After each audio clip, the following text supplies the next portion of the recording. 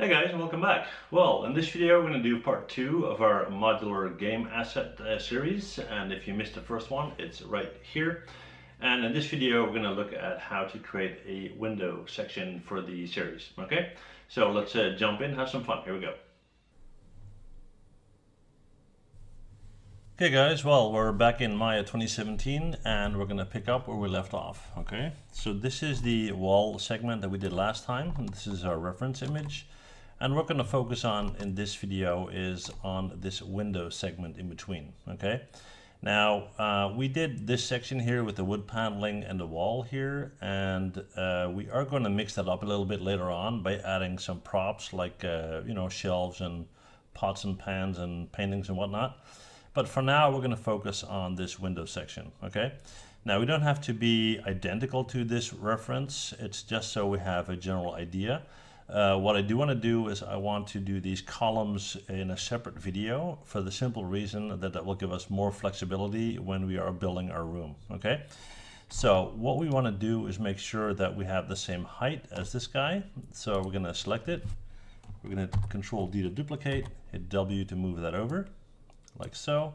And just to make sure that we know what's what, we're going to right click, assign new material, and just give it a basic Lambert. Okay, so we know what we're talking about.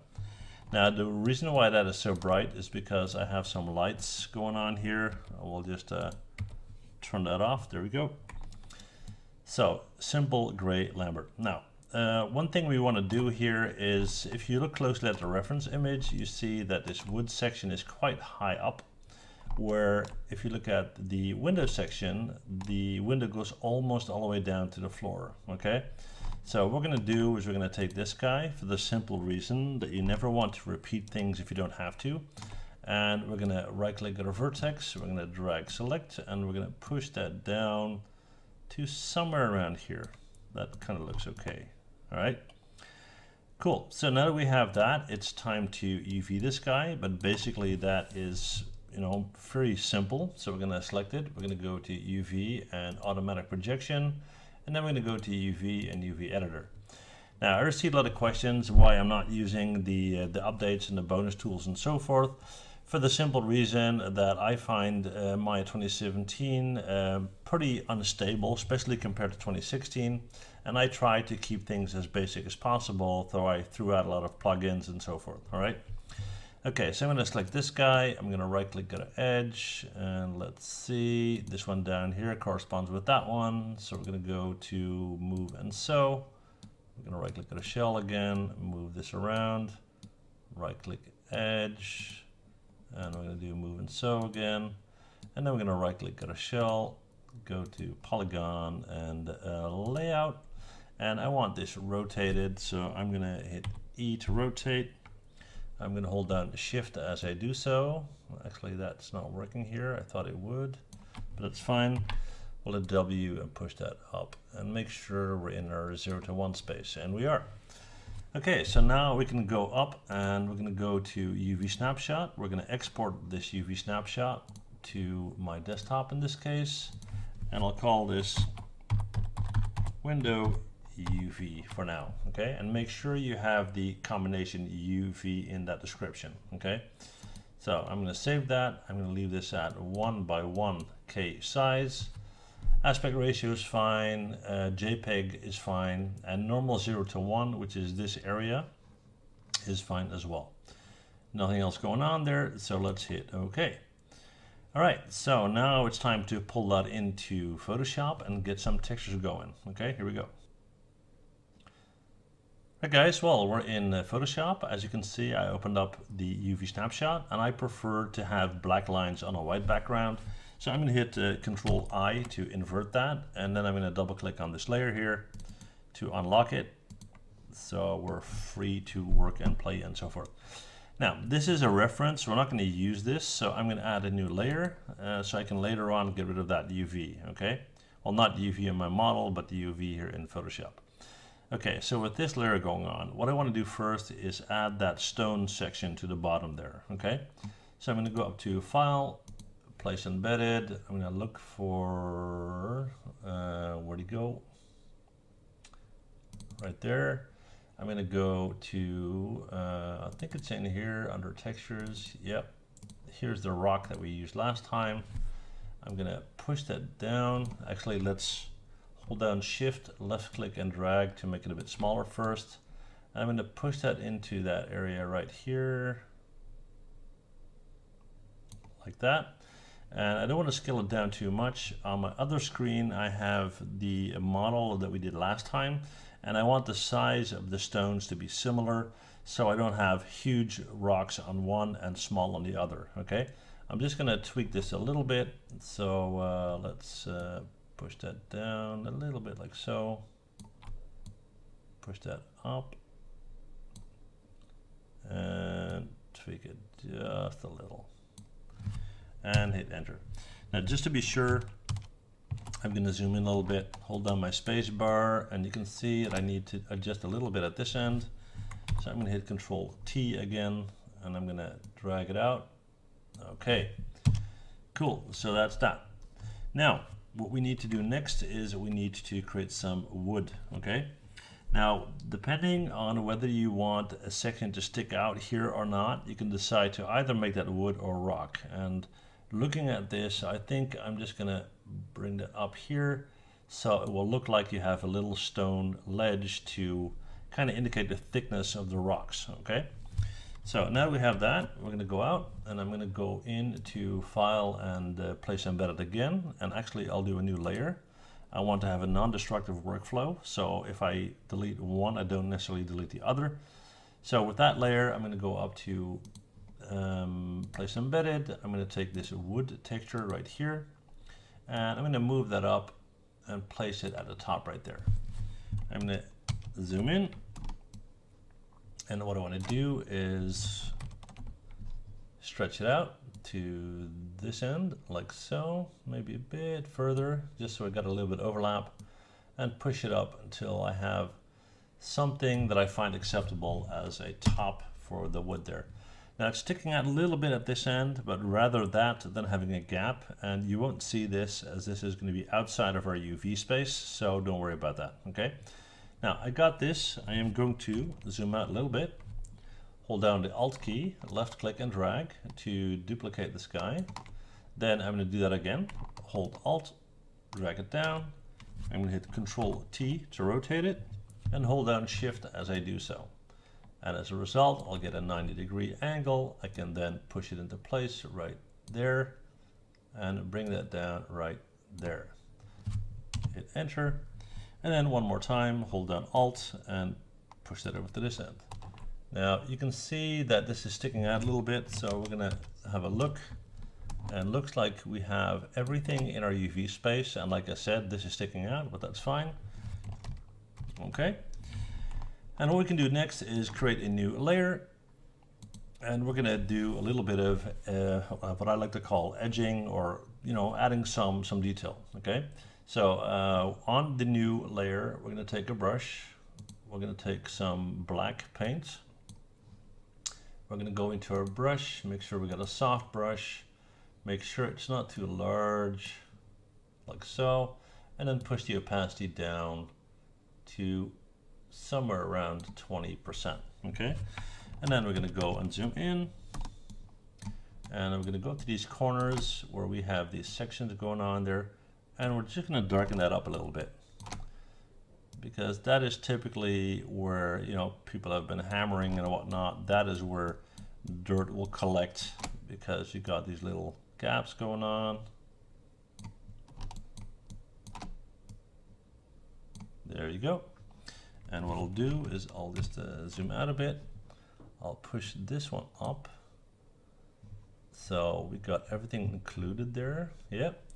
And then one thing we can do now is we can go in. I'll make my brush slightly smaller. And I'm just going to click in this corner right here. Hold down my shift key and click again right there. And that will create a nice straight line. Do that again.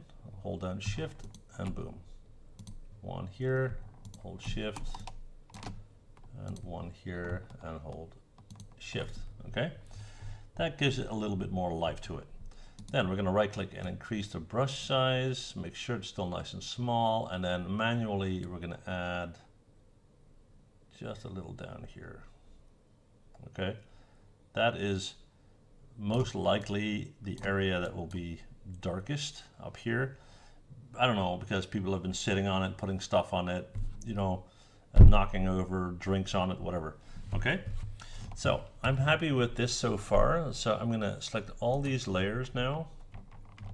Once I'm happy with it, and I no longer want to go in and change, otherwise I would keep it open. So I have my non-destructive workflow, but I'm happy with this. I'm gonna merge these layers, okay?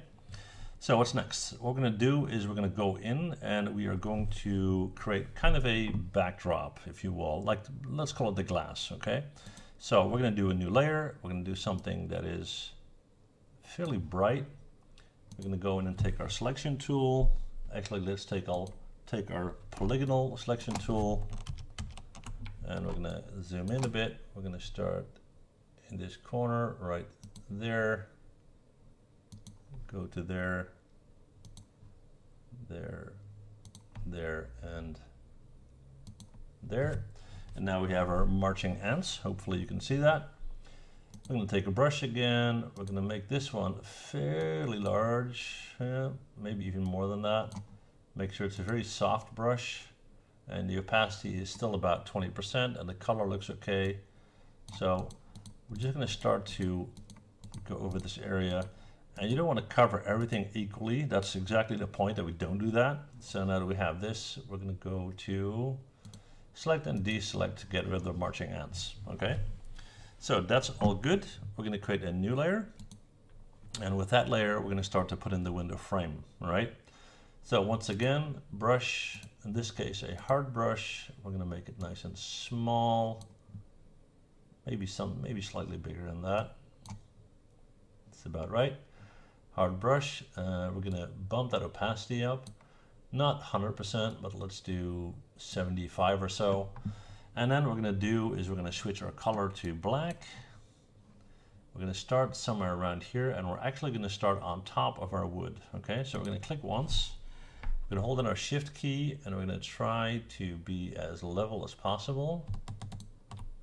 Not too bad, okay? And now that we have that, we're going to go up to our selection tool, hold down the Alt key and we're going to bring that down and you kind of need to decide how many you want. You don't want it to look like a jail so we'll do one here. I'll repeat that and as you get to the right distance it will indicate that. I'll do that again. Come on, where's my indicator? There it is. I'll do that once more. And now it seems that I need to have all of them come down a bit, okay? So I'm gonna select these layers. So one, two, three. Well, maybe not just yet. Hang on. I'll explain why, okay? So I'm gonna do Alt and select it one more time. Let's see how that works, by the way. Yeah, that could work. Okay. One more time, hold down Alt, and in this case, we are going to uh, rotate it. So we're gonna hit Control T to rotate. Looks like I've got two things selected here. Hang on. Deselect, Control T, and I'm gonna hold down the Shift key while I do that, so it will snap. I'm gonna bring it in here, and then drag that bottom down like so, well into my wood frame here. Hit Enter, hold down the Alt key once again. Let's do one here, and we'll do one more, and do one here. And then what I'm going to do is I'm going to select these three. And merge layers. So now I can kind of move them like so. And then I'll turn them off. And I'll select these layers. So starts with this guy. So it's a layer 3 and all of its copies.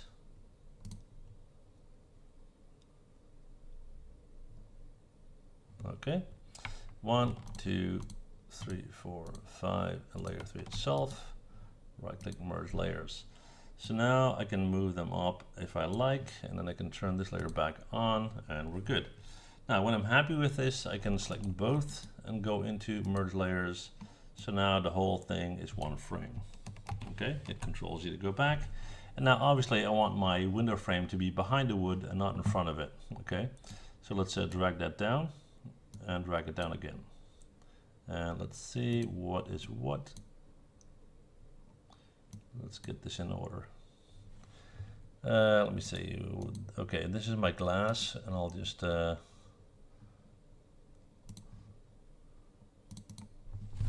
rename that. Hey guys, well, sorry for the short interruption. I just wanted to let you guys know that my channel sponsor, uh, Dogwood Gaming, they did a complete uh, overhaul and update on their Ashes of Kanaka game. Now, they released that game in uh, April of this year, but their motto is uh, by gamers for gamers. So what they did is they invited a lot of uh, gamers to provide them with feedback on what they like and don't like about the game, what they wanted to see change, and so forth. And they did that. Okay, so they uh, released uh, the new version yesterday. A lot of cool changes. And as a big, big thank you to all those gamers out there, they are giving you 30% discount on Steam. Okay, so uh, I'll put the link below. Check them out. Okay, let's go back to our tutorial. Here we go. This is my frame.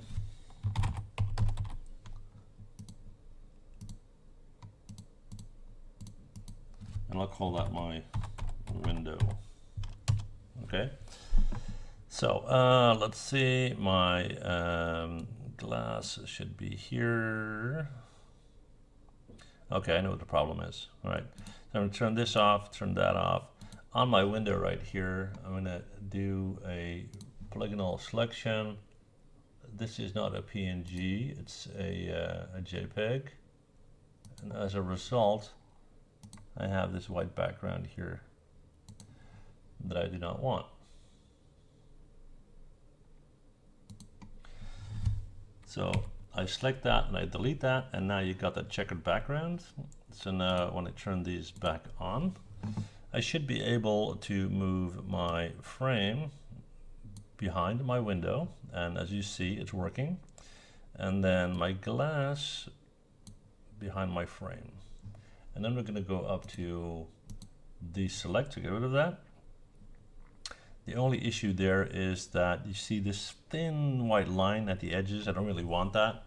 So the way I can fix that is take my frame and my glass and we're gonna merge layers. Hit Control T to uh, scale them, hold down Shift, slightly drag that and then bring it in and hit enter. And we'll uh, fix that the rest of it in uh, Substance Painter okay? So when we're all happy with that we're going to select these two merge layers and then our base diffuse is done okay? Now um, we can yeah we'll do that in, uh, Substance Painter okay fine. We can now uh, save this out as our diffuse so file save as and I'll just call this diffuse window I'll save it out as a JPEG. I'll just save it on my desktop for now. And then we're going to go in to filter 3D generate normal map based on this. And we're going to tweak the details a little bit. So let's see, we have a detail scale here that we want to have quite high because it's a nice effect for the wood and so forth. You can uh, invert if you want, but I you know don't do that. This looks fine.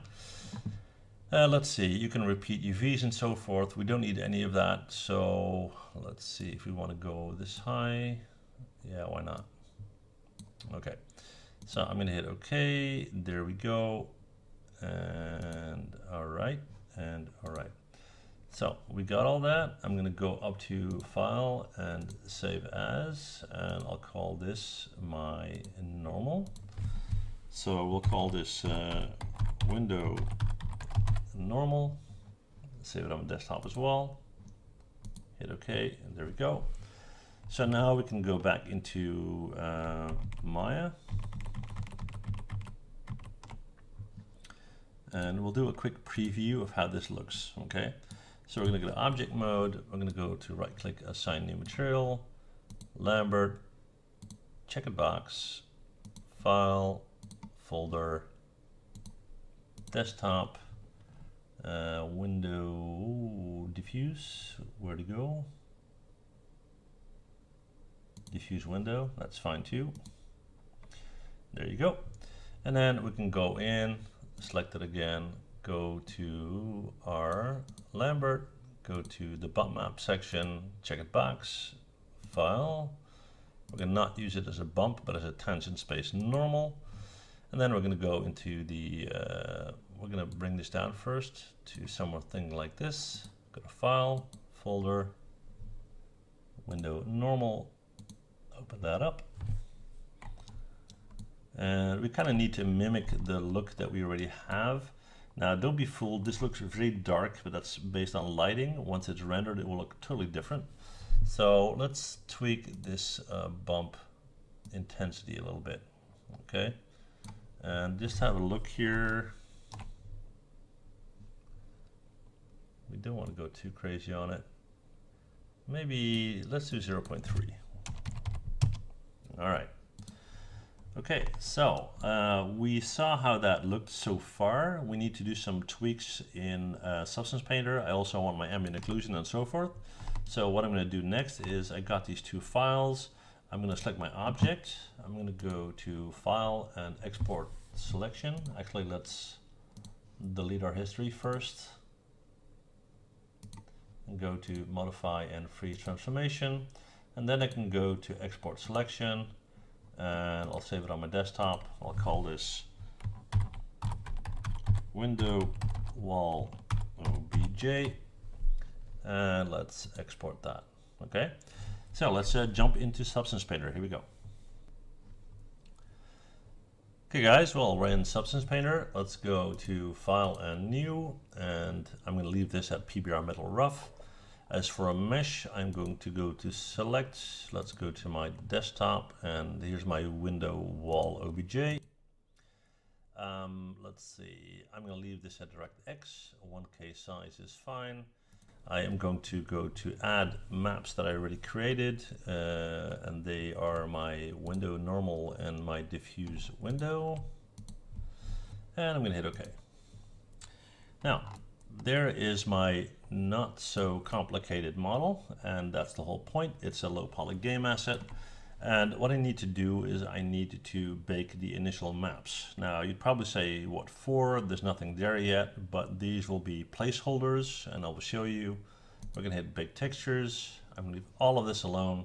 1K size, no high poly, nothing going on there. Just gonna hit bake the maps. What you'll see is that actually some stuff is going on. Most importantly, you just saw the ambient occlusion map being added, okay? Based on a curvature map, uh, uh, Substance Painter can calculate the ambient occlusion and you see that little dark edge there and that's exactly what I want, okay?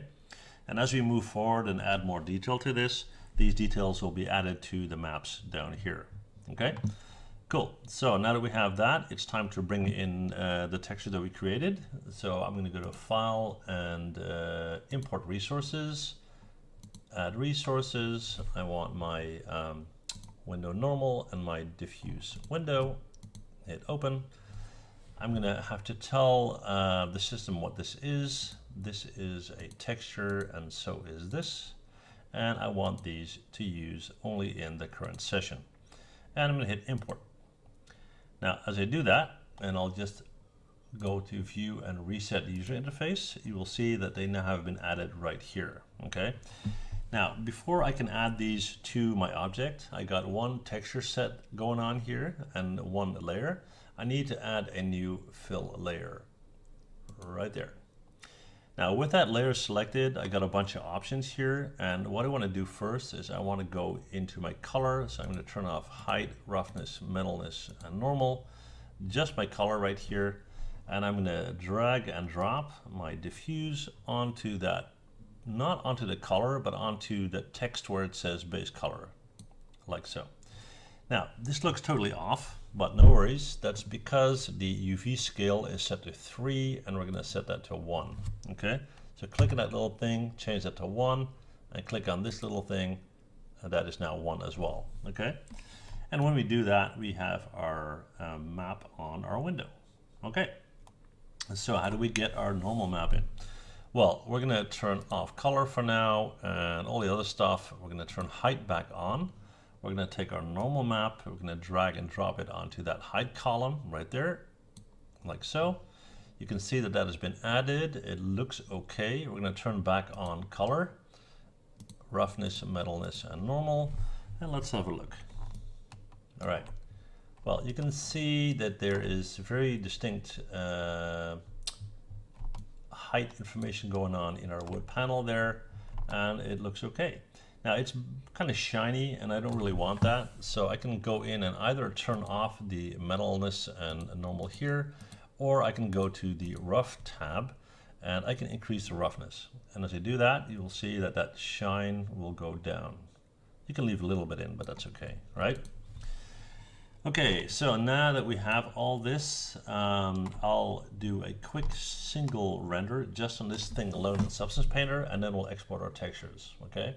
So we're gonna go to uh, mode, rendering, and uh, let's see, we'll choose a suitable environment. So instead of panorama, I don't know, this looks kind of good. We'll go in, we will, um, actually this is very bright. It's supposed to be a fairly dark scene. So let's see what else we got.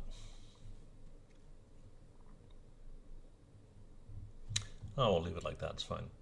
We're gonna increase the number of samples a little bit. And again, I'm just gonna run through this quickly. Maybe one of these studio light setups. Mm.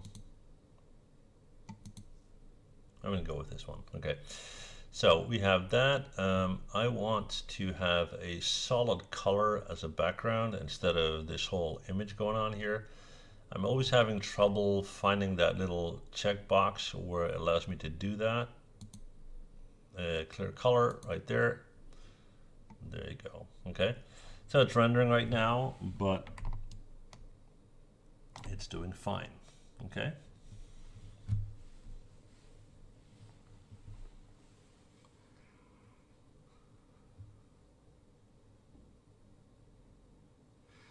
And there you have it. Well, just to give you an idea what this looks like in Substance Painter, but we're not quite done yet. We're going to go to mode and painting. So we're going to go back. And like I said, we got that little edge going on there. So what I want to do is uh, create a new layer. Not a fill layer, just a regular layer. And go to brushes.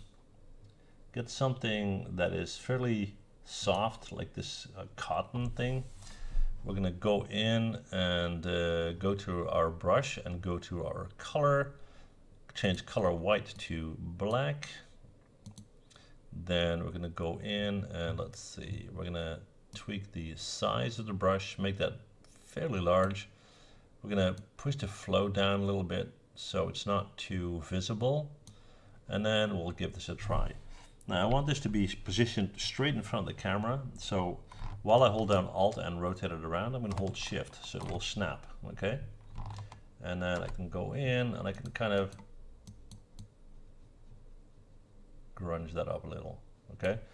Now, you don't have to go nuts on that. I'm just showing you what I mean here, okay?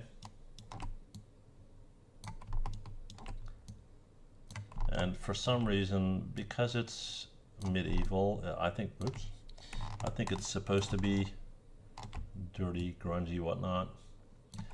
But it's also a nice way to kind of fix issues, if you will.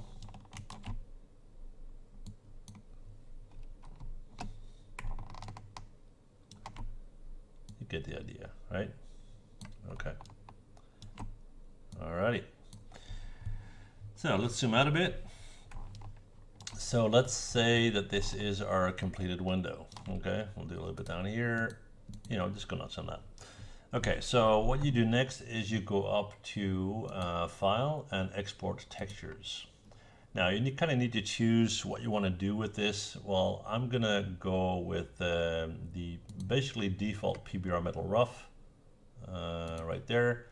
I'm gonna go into configuration, uh, PBR metal rough.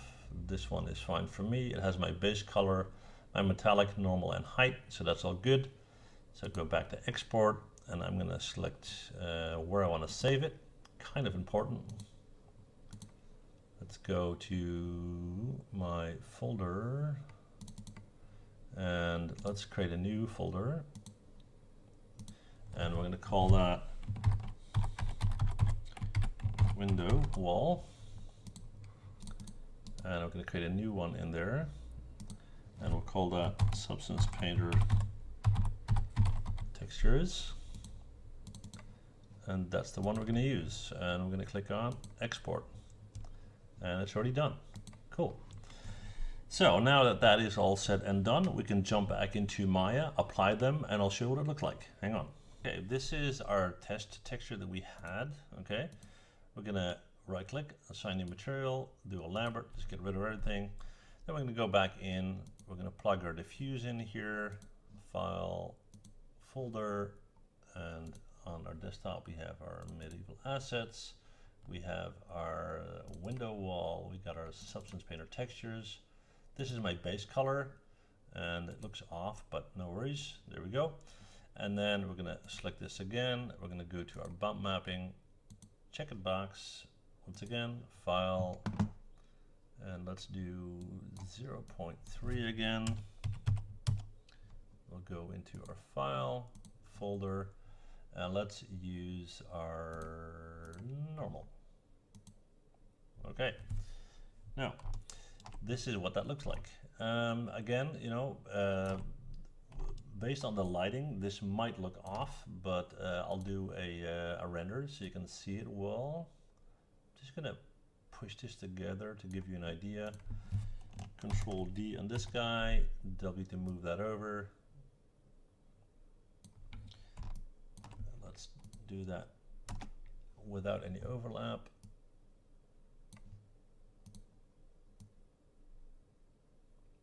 And again, you know, this is quick and dirty, so take your time to do it properly, but this is how that would look like. Okay, I'll, I'll do a render, I'll stick that in a thumbnail so you can see what it looks like when it's rendered in daylight and so forth, okay? So that's all there's to it for uh, this video, and in the next video we're gonna look at, you know, creating some uh, paintings, some shelves and so forth to uh, make this look a little bit more like an actual room, okay? So see you guys then, bye. Well, thanks for watching, and before you go, please hit that MH button to subscribe, okay? See you guys next time. Bye.